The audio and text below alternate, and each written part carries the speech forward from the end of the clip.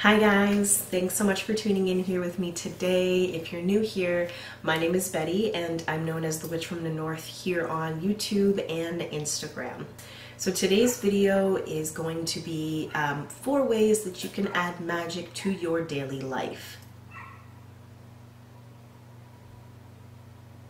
I have the window open because it's too hot to do anything without any sort of windows open today. So if you can hear a dog barking, I apologize.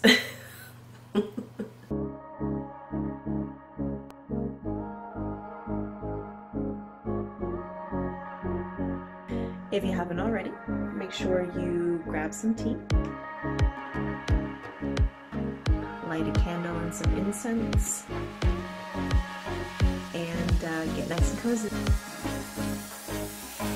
So Again, without further ado, let's get right into it. Um, the first one that I wanted to mention is uh, cooking. Cooking is one of the easiest ways, or kitchen witchery to be specific, is one of the easiest ways that you can bring your craft into your daily life. Um, from things like adding your intention into what you're creating, adding uh, herbs for their magical correspondence for specific things like health, prosperity, um, abundance, um, wealth, whatever you want to um, love, for example.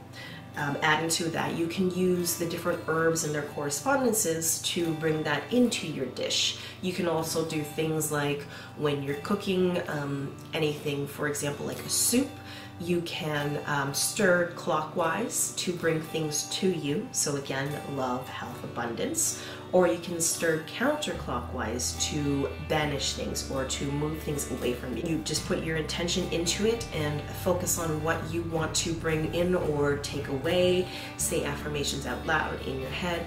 Add those herbs in to amplify your intentions and it's an easy way to connect to your craft one of my favorite ways that I would include under the umbrella of kitchen witchery um, is tea or coffee. You would use certain things. You could use like sugar to sweeten something, um, cinnamon to add speed to bring something to you um, quicker or to put something in action um, quicker. Kitchen witchery or cooking is a great thing that you can do to incorporate your practice in your daily life. Some of the things that I can think of right off the top of my head would be like a prosperity jam. Now, I just recently saw this on um, Instagram. I believe her name is the Stoic Witch, and she posts, her feed is beautiful. She posts pictures of her Book of Shadows or working Book of Shadows, um, but she posted a recipe for a blackberry prosperity jam. So again, I'll link that below. I thought that was a wonderful idea. Super simple, easy to make, great way to bring prosperity into your life and to connect to your craft. The next thing is cleaning. Cleaning is also a super simple way to connect to your craft on a daily basis. You want to bring things in or you want to um, remove things from your home. So sweeping is one of the top ways um, or one of the common, I should say, ways um, that people use to clean their space physically and both spiritually in their practice. And there are many different ways that people do it. Some people sweep their house in a clockwise or counterclockwise uh, motion. So sweeping is one. Um, smoke cleansing. And now I say smoke cleansing specifically and not smudging um, because if you are not from a culture that um, smudging is within your culture, then um, it's it's actually smudging is like an actual ceremonial rich, ritual, and um, you're just cleansing the energy with smoke from your home. So that smoke can be from um, a herb bundle that you've created or that you've purchased as long as it's not uh, Palo Santo or sage as those are both endangered and um, it's extremely hard to get those ethically sourced. Incense are also a great one. Uh, essential oils, I like to diffuse essential oils in my home. Those are also, uh, it's technically not smoke, but it's a scent that you can use to bring forth certain um, intentions that you want. I like to use rosemary and lemon a lot with cleaning. Um, and I'll get to that in a second. So yes, smoke cleansing is a great way to just go throughout your home. Now you burn your herb bundle, your incense, or whatever you're gonna use for your smoke cleansing and do the same thing. You can go clockwise, counterclockwise, you can do yourself, you can do a specific item in your home. You just take it throughout your home and focus on the intention or what you want to bring in with that. So the next one that I was talking about is uh, cleaners. So for me, I um, like to make a cleaner or cleansing product that I use on like my floors, um, wiping down countertops, windows. I go around the windowsill with them, or I'll go around the doors with it. Um, and there are many different recipes for um, magical cleaners or cleansers that you can find by just doing a simple Google search. I'm not going to get into a whole bunch of different recipes. Um, I will include my favorite recipe with the uh, measurements in the description box below. You really want to make sure that you know what you're using is going to be safe on the items that you're cleaning as well as if you have any pets um, or small children or if you're pregnant. Um, you really want to know the correspondence of those ingredients. Um, so please, please, and I cannot say this enough, do your research. The next is simple rituals. And when I say ritual, there's probably a lot of people out there are like, oh, it can be as simple as lighting an incense on your altar for an offering to your deity if you work with deities. Um, it could be as simple as lighting a, candle, like say a green candle, for um, abundance, manifestation. Um, it could be just meditating on what you want for the day to bring in, to um, to take out, um, journaling and connecting to um, your higher self your subconscious, the divine, the universe, whatever you want to call it. Those are simple little rituals that you can do on a daily basis that connects to a specific intent, as everything has that I've mentioned. Um, and they don't have to be huge, complex things. One of my favorite rituals or practices for um, every day is grounding. Now, I mentioned meditation and journaling and those are also really great and can be incorporated into grounding as well. But grounding is specifically for those who don't know, um, going outside into nature and connecting with the energies of the earth. Specifically, barefoot is my favorite way to do it. Um, you don't have to be barefoot, however, there is some scientific research that backs it up by going barefoot into some sort of soil or grass, you're connecting your energy to the Earth's energy and you're absorbing some of that energy through your feet. Um, so look that up.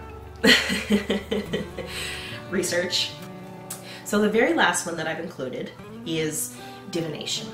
Now, divination is classified as a way to connect with the uh, divine. And if you are somebody who is secular, it doesn't have to be about connecting with the divine. Divination can be a simple practice of connecting to yourself and your intuition and just practicing listening to your body and your subconscious. Because a lot of the times, you already have the answer to the questions you're seeking. It takes a moment for you to slow down and be more aware of your surroundings. So you can definitely do some research into the different types of divination. Some of the most common are tarot, which is something that I love to do and practice regularly. Um, there's also pendulums, which are also great. Um, there's palmistry, there's runes, there's a number of different ways. There's crystal balls. um, there's a number of different ways to do divination. So definitely research those, play around, see which one you connect with more and which one naturally aligns with your abilities. I do highly recommend picking at least one form of divination and practicing with that divination because um, as anything, your craft takes um, time, takes practice, um, and with any new skill, you can bring things in to assist you and to amplify your power and amplify your intention and to really hone in on your focus. So I think divination is a great uh, way to do that and finding um, the right the right method of divination for you and for your practice. And that comes with time as well, so please don't rush it. If you started with tarot and then after a year of practicing tarot, or maybe not even a year, um, but let's just go with the example of a year. After a year of practicing tarot, you say, okay, I want to try something new, or maybe tarot doesn't really feel right to you. You don't really connect with it.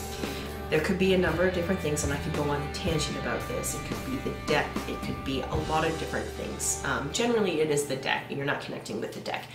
That being said, it could be that that form of divination is not for you, and that's again perfectly okay. Your craft is unique to you.